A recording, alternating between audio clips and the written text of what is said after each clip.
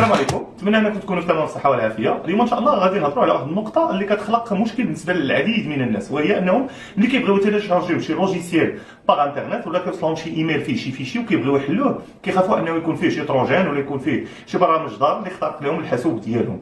الكثير من الناس كيكونوا ضحايا ديال الفيروسات الفيديا بسبب أنهم تيتيليشارجيو des programmes من خلال des sources اللي هما غير موثوقة. اليوم إن شاء الله غادي نوريك كيفاش أنك تقدر télécharger شي programme في ال PC ديالك بلا ما ي infecter ال PC ديالك وتقدر انك تجربه حتى تاكد مما أن الملف آمن عاد ديك الساعة إلا بغيتي تخدم به في الحاسوب ديالك. هذه جاية واحد التقنية اللي هي مهمة جدا واللي وظفتها آه، شركة مايكروسوفت وهي ال Windows Sandbox هذا ال Windows Sandbox كيمكننا أننا نستخدموا حاسوب وسط حاسوب وبالتالي فيمكن لك أنك télécharger des fichiers أنك ت installer أنك دير اللي بغيتي بدون مخافه أنه تخترق الحاسوب ديالك. كيفاش غنفعلوا هذه الخاصية؟ وكيفاش نستخدموا هذا ال Sandbox هادشي اللي غادي نشوفوا بقاو معايا. اذا أول حاجة كندخلوا لل Control Panel.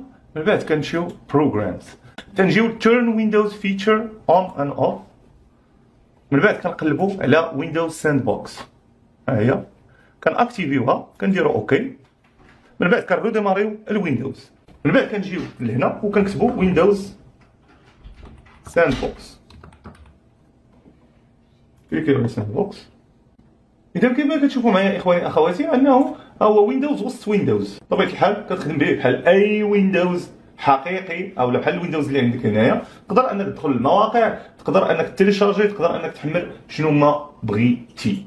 خوتي خواتاتي نتمنى انكم استفدتوا معايا في هذه الحلقة ديال اليوم. إلا استفدتوا ما تبخلوش عليا بواحد ال like commentaire زوين من طرفكم. نشوفكم إن شاء الله في فيديو قادم بإذن الله. إلى ذلكم الحين دمتم في الله وعلى الله